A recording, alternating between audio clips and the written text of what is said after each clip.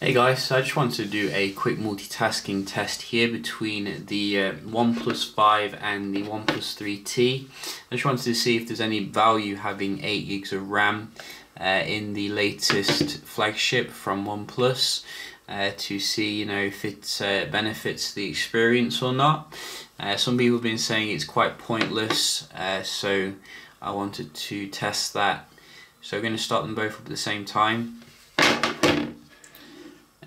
see uh, we're going to open up a few heavy games and see the multitasking performance. Uh, we're not going to bother with basic apps.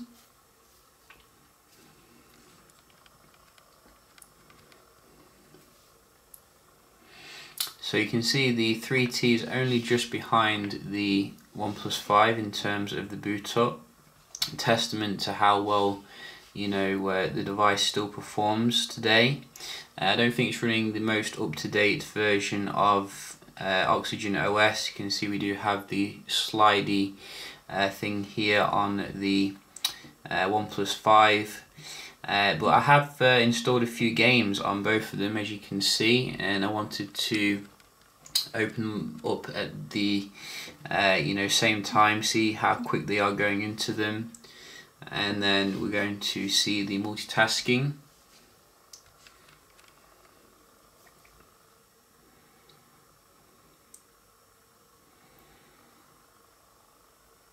So this is an 8 gig RAM uh, model as well of the the uh, OnePlus 5 and as you can see I do use on on screen buttons because it's just easier for me you know. You have so when you get so many phones it's quite hard to remember which side is which when you want to go back or forward. So it just makes it that bit easier. And you can see here with the rolling grass uh, the OnePlus 5 is marginally ahead when it comes to loading the game.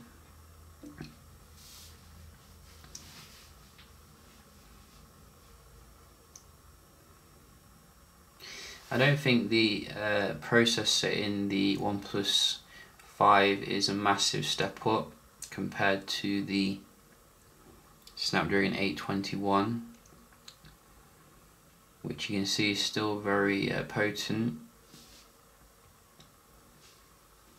But then again it is uh, you know a bit better if we're going to be honest.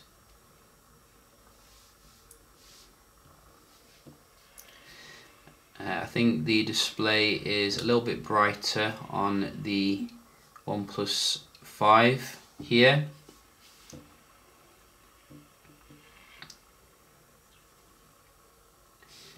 So just uh, get the 3T to catch up here.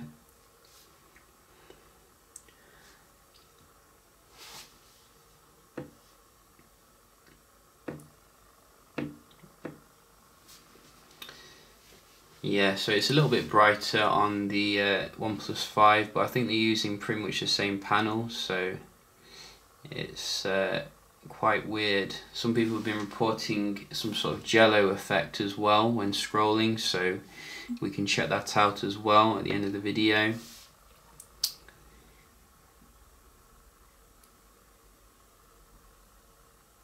So you can see in terms of the opening, uh, the 5 is only just really ahead here, not a massive motivation to upgrade. Uh, you know, if you're looking at it from a performance perspective, really?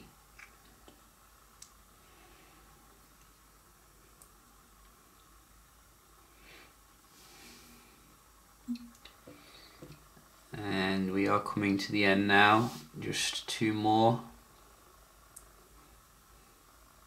Oh three T's ahead on this one which uh, is pretty amazing. You can see and then The Sims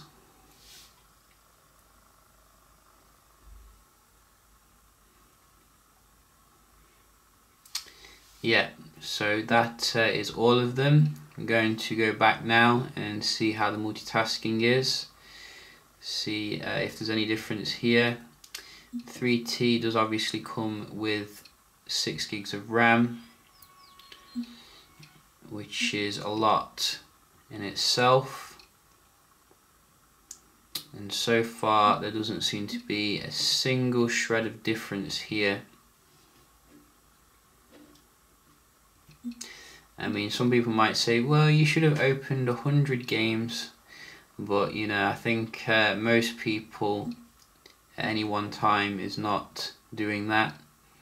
And if you are, then you should have better things to do. So this isn't a reload, this is just like a resuming. I think the OnePlus 5 does uh, resume things a little bit faster because of the processor, but uh, in terms of the performance here, you can see 3T is still very beastly. I mean, just completely no difference whatsoever. I think I've gone through them all now. Uh, so I was actually expecting a bit of a difference there, but you can see with eight games, absolutely no difference whatsoever, which is fantastic. Now the thing which isn't fantastic is this so-called jello effect, uh, which I have looked back on a few of my older videos on the OnePlus 5 and I do notice it a little bit on mine. Uh, so if you see here, if we scroll, it looks like the icons are like jelly a little bit. If you log into my social media account, uh, you can see uh, if we just uh, do some scrolling here, uh, this is what it is. Now it's not a massive, you know, huge issue. Uh, it's the sort of thing that you, once you see it, you can't unsee it. Uh, but it is obviously there, and you know, it is a little bit annoying to have.